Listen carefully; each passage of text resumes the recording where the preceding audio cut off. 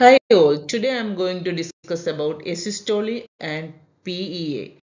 PEA is pulseless electrical activity. Welcome back to Ally's Edutec and I am a registered nurse and a healthcare educator here to empower you with life-saving skills and practical nursing advice. Don't forget to like, share, subscribe and hit the bell icon to get more updates from this channel.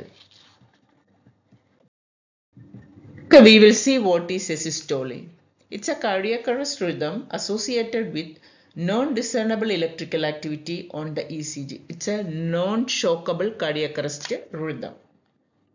So what you can see a flat line on the ECG. Asystole, the name itself, A without and systole is contraction. Without contraction. So without contraction, there is no conduction system inside the heart and also due to that, heart stop pumping the blood. It's a fatal arrhythmia that can lead to death of the patient.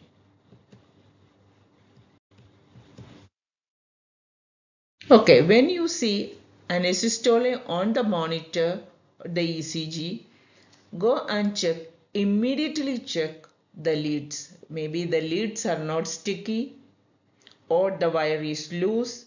Maybe the defibrillator or ECG machine itself is having some issues. Due to that, signal gain may be too low, amplitude of the wave. So the first thing is go and check the patient. Okay, once you check the patient, you feel that everything is all right, immediately check the pulse of the patient.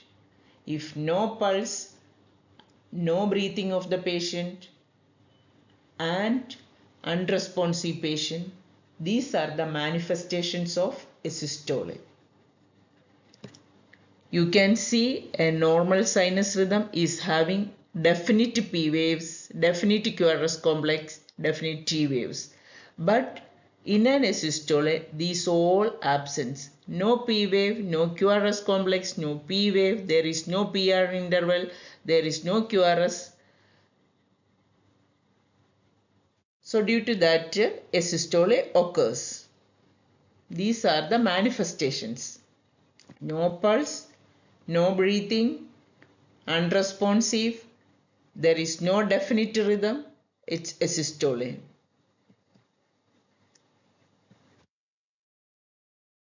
Now we will see what is pulseless electrical activity. This is also a non-shockable cardiac arrest rhythm. Here what is the difference from asystole is that there is a specific electrical activity, a specific rhythm is there. Either it is normal sinus rhythm, sinus tachycardia or sinus bradycardia. There is a definite rhythm you can see on the monitor or the defibrillator.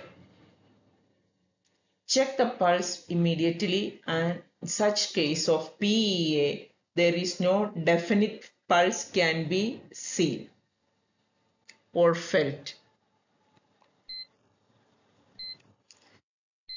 This is the ECG rhythm and there is no pulse. If you check the pulse of the patient, there is no definite pulse can be felt. So that is PEA pulseless electrical activity. No pulse is here.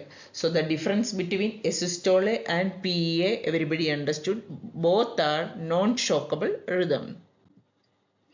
Now we will see what are the causes. The causes we know in the cardiac arrest algorithm the causes of cardiac arrest is Hs and Ts. There is 5H and 5 Ts.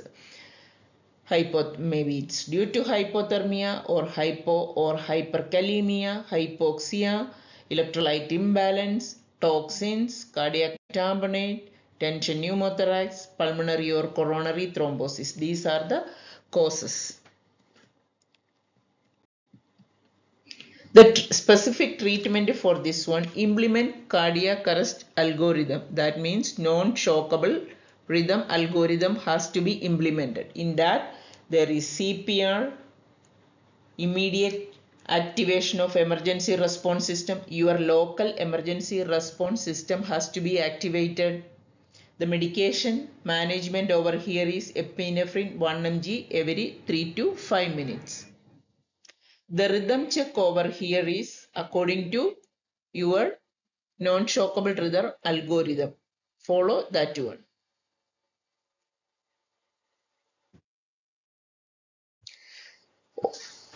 Cardiac arrest algorithm has two types of rhythms. One is shockable rhythm, another one is non-shockable rhythms. Shockable rhythms are VF, ventricular fibrillation and pulseless ventricular tachycardia.